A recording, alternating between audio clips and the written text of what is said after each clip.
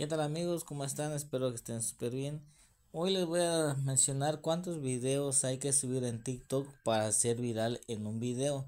Ya que muchas veces subimos demasiados, subimos demasiados videos y la cual ni uno se hace viral.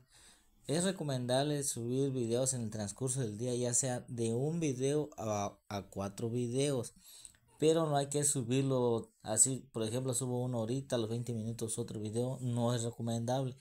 Es recomendable subir un video, por ejemplo, subo uno a las 10 de la mañana, voy a volver, voy a, volver a subir otro a las 12 de a las 12 del día, a las 2 de la tarde, así. Tiene que ser un lapso, tiene, debe tener un lapso, por ejemplo, de dos horas. Y a la vez que publicamos cuatro videos al día, se, más que nada uno se nos va a hacer viral. Y si los demás videos no se hacen viral, no hay que eliminarlos. Porque si los eliminamos y no tienen visualización, no hay que eliminarlo porque la verdad de un día para otro ese video se puede hacer viral. Lo que hacía yo antes cuando subía un video, miraba que no tenía vistas ni nada, lo que hacía yo lo eliminaba y no hay que mantenerlo ahí aunque no tenga ni una vista nada hay que mantener ese video ahí porque el algoritmo de, de TikTok es muy diferente como el de Face y YouTube.